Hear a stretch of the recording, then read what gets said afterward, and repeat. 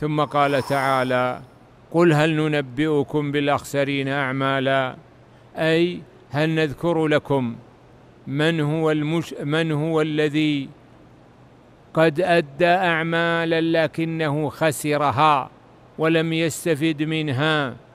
وحينئذ شبه تجارة الآخرة بتجارة الدنيا في موضوع الخسارة فقال هل ننبئكم أي نخبركم بالأخسرين أي من كانت لهم الخيبة والخسار مع أنهم عندهم أعمال.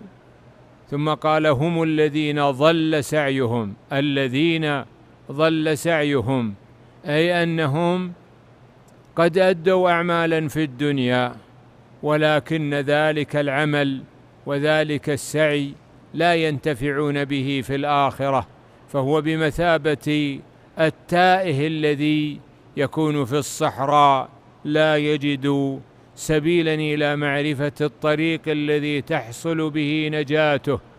ولذا قال ضل سعيهم أي ضاع وفقد. سعيهم أي عملهم وما يؤدونه من أمور دنيوية في الحياة الدنيا. أي أنهم لم يستفيدوا منها في الآخرة وهم يحسبون أي يظنون ويعتقدون أن عملهم سينفعهم في الآخرة وأنهم قد أحسنوا أي أحسنوا صنعا أي أدوا عملا صالحا ينفعهم. وهذا فيه تحذير للعباد من أن تكون إرادتهم بأعمالهم الدنيا فقط فإن بعض الناس قد يؤدي عبادات صالحة لكنه لا يقصد بها الدار الآخرة وبالتالي لا ينال بها أجرا.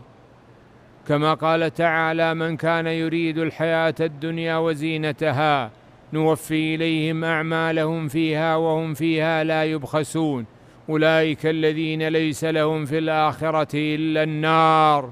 وحبط ما صنعوا فيها وباطل ما كانوا يعملون